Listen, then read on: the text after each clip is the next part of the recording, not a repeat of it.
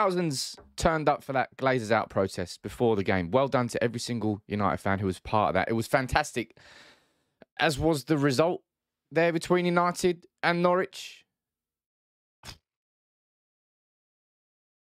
But that's about it. Ronaldo with an incredible hat trick, his 60th career hat trick, his 50th club hat trick. Ronaldo single handedly. Well, um, De Gea made a few decent saves as well. But that man there, absolutely incredible hat trick today. Sort of shining lights in recent games. His hat trick against Spurs there, his hat trick against Norwich, and somehow, somehow, because Arsenal and Spurs are equally as capable of bottling, both of them lost today against Brighton and against Southampton. Manchester United there with three points against Norwich. Somehow, we're still in a hunt for a top four spot. I think we are. We are. And I don't really know how. I swear to God, I do not understand how. Because apart from that man and apart from De Gea's fingertips stopping us going 3 2 down, that, just that squad there, I swear, I've said this to you before, genuinely. There are so few players inside that squad that I would get into an argument over to support. That whole back four was just an absolute abomination today, an absolute humiliation for United. Dalot, Lindelof, Maguire, was it Elanga? Did he finish up at right back? I've, I've no idea. Telles, Dalot, Maguire, what are you doing, bro? What? I swear to God, is Maguire actually actively trying to be shit now? Booting Paul Pogba in the head, calling Nemanja Matic out for handballing it the other week, headbutting Ronaldo a few weeks before. Maguire's just, it's a circus. It's an absolute, our defence is an utter circus. I'll tell you what was a circus, that starting 11 today. You had Pogba as a defensive midfielder. You had Jesse Lingard starting, despite the fact that he's leaving. You've got Garnacho and Hannibal on the bench. I understand Ralf Rangnick's idea and logic. And I, it's actually one I do stand by the idea that you don't want to throw ki- kids in, but I'm so done with this squad, man. I'm so done with these players. I personally thought it was a bit harsh. Uh, the booze and the chance to fuck off Pogba when he got taken off. What you're looking at is the end of a three year frustration from United fans. It's just boiled over. They just don't give a fuck anymore to, to not say those sorts of things. You know what I mean? Like, the protest there went on before the game against the club's owners. Fucking 17 years they've been stealing money from our club and just bleeding the club dry. But these players, I swear, they've been bleeding this club dry for a few years, man, and I'm just so done with it. I'm so done with so many of them. I'm not isolating Paul Pogba in this situation. I'd be more than happy if Harry Maguire was sold this summer. I just don't think he will be. Pogba's leaving, Lingard's leaving, Mata's leaving, Grant is leaving, Matic is leaving. That's five. There's probably more. Phil Jones, you can join. Anthony Martial, come on as well. But just so many of those players. It's just, if it's just, I'm done. I'm finished. Zef, Zef, finit. Go. Vamos. Leave. I don't care. I really, really do not care anymore. And as I said, apart from this man there, we're probably losing against Norwich today. Bottom of the league, Norwich. 2 0 up. First goal, great pressure from Anthony Elanga. Really set the tone with sort of his pace and intensity. Won the ball back, squares it. Who's there? Cristiano Ronaldo. Bang, 1 0. United in control from that point on. Norwich made they drew a couple of saves from De Gea, but Norwich, they played like they were bottom of the league, and lo and behold, they are bottom of the league. Didn't threaten us at all. And then Telles whips in a corner. Ronaldo, he jumps up. Boom, 2 0. Cristiano Ronaldo, two goals. Totally, totally, totally comfortable. But then, wow, that defence, as I said, come on in. I'm not going to mark anybody at the back post. Eh, I'm Harry Maguire. I'll run out of position as well. Do what you want. Just at the back, boom. There you go. 2 1. Norwich back in the game before half time. And they did not deserve that whatsoever. Completely changing the feeling going into the half time break when we should have been game, set, and match. Done, done, done. What happens at the start of the second half? You didn't have to script it. You knew it was going to happen. Pukki got played through. He was on side. Boom. 2 2 in off the post.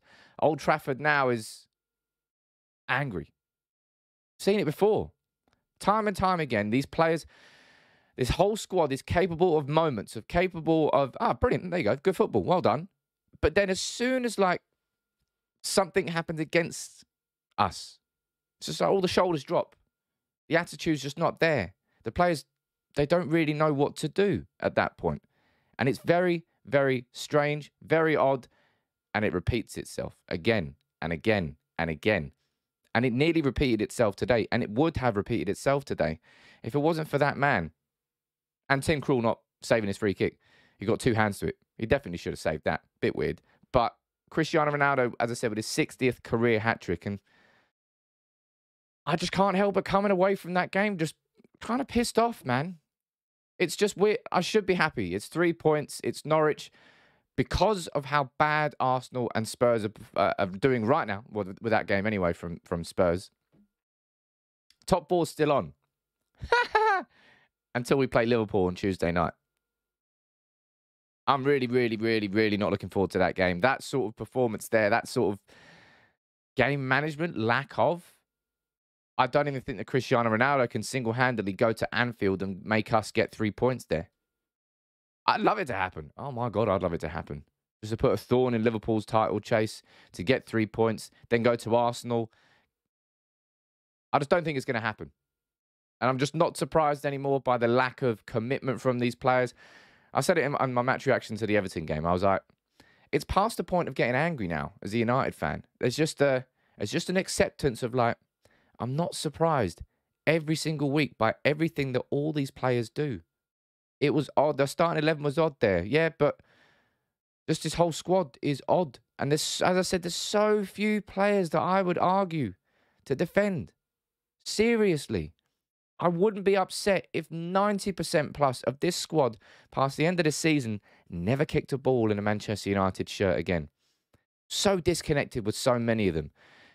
And as I said, I feel a little bit sorry for Paul Pogba in the fact that he was uh, isolated in that incident with the fans booing. Tell you what, I wonder if this is going to be the same reaction to when Harry Maguire was booed by some England fans, and it seemed like I don't know, it was crazy the reaction to that, massive overreaction.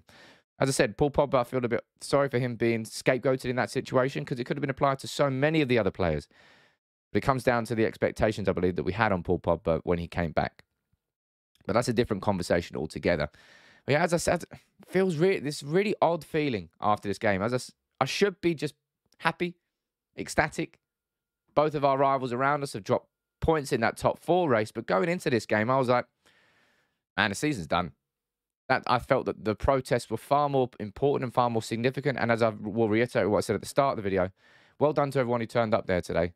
Nobody knew what the scale was going to be. Very peacefully done, sent the message. And I hope that more of those types of protests can continue and go on. And that maybe there won't be like another like two, three, four, five, six, whatever the month gap between the protests. The more that we can do on a, on a smaller scale like that, 10 protests like that, might have more of an impact than one big one, if you know what I mean different ways of approaching it. Do you think we're going to get top four?